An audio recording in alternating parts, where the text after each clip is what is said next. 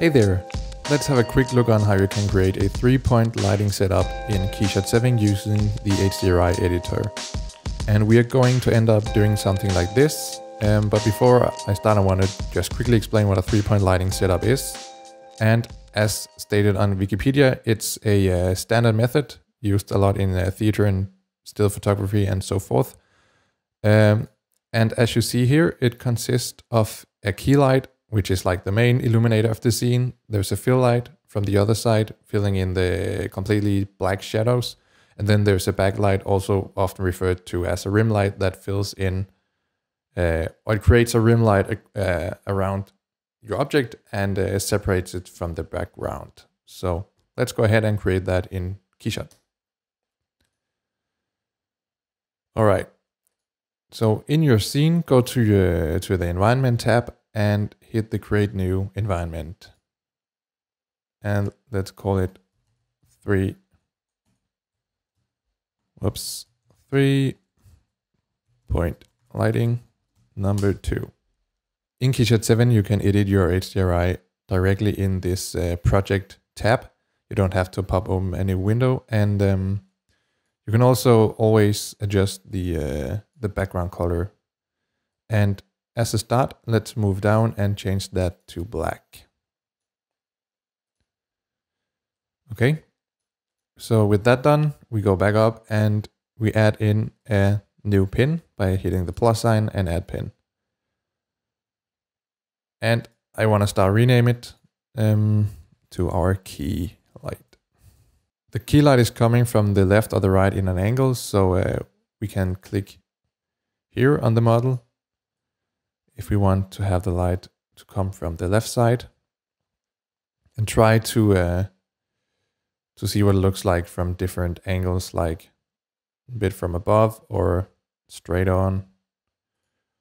Maybe down here as well. Not recommended.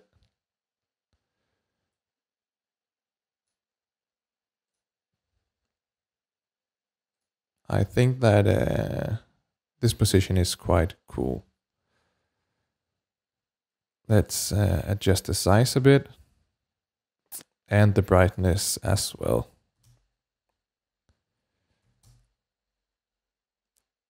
And be sure that your light is bright enough, but that it doesn't wash out. So if we put the brightness at, let's say, 5 or even 7, we start to lose details here in the texture because the light is too bright. So you don't want that.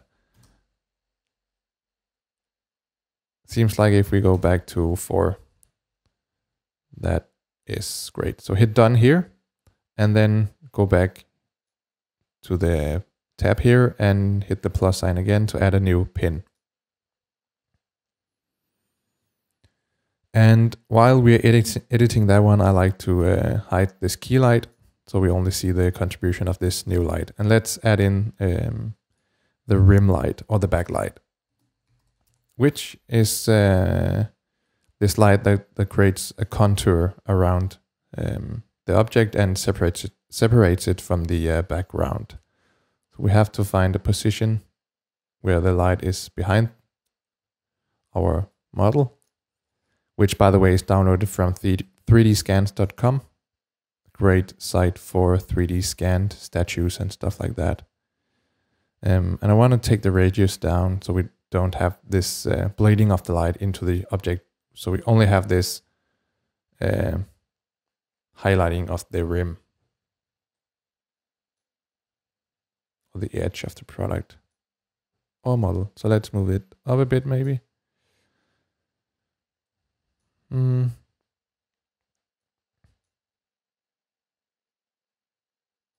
I think somewhere around here is good. All right, like this. Let's see if we should pump up the brightness. Could go for two, I guess. So then I like to turn on this key light again to see how it looks together. And I think the key light is actually a bit too bright. So I take that down to 3.5. Maybe even down to 3. All right. So now for the last um, pin, hit the plus sign, add new pin, and rename that one to the fill light. So the fill light is uh, the one making sure that the areas here on the shadow side is not too dark. Um, of course, if that's what you want, then you shouldn't use any fill light. But uh, for more neutral lighting setup, it's good to uh, to just ease out some of these uh, dark shadows. So let's uh, hide the rim and the the fill, or let's hide the rim and the key light to see what uh, this one does, and let's add it in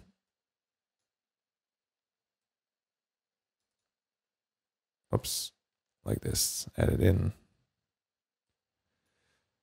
here from the side in an angle.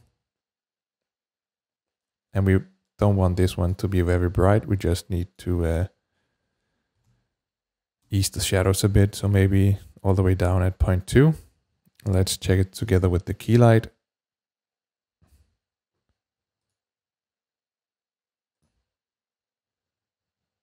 Seems good. And then turn on this rim light as well. Seems like I accidentally moved the rim light. Uh, so it's actually a good thing to lock the uh, pins when they are in the right position. Oops, let's unlock them again and hide them. And reposition this uh,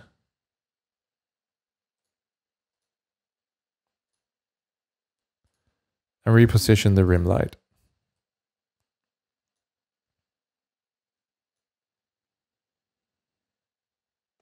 And as always, if you feel that stuff are updating a bit too slow, then you can always go to the performance mode and just check out where the highlight is, uh, is sitting.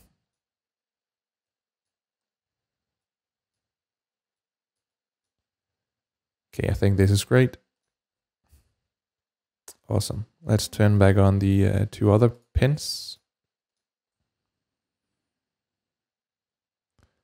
Cool stuff. So uh, what I like to do as well is to play around with the colors. I like to keep my key light uh, a pure white, uh, depending on, on the scene, of course. But for a neutral lighting, I like to keep it uh, at, at white.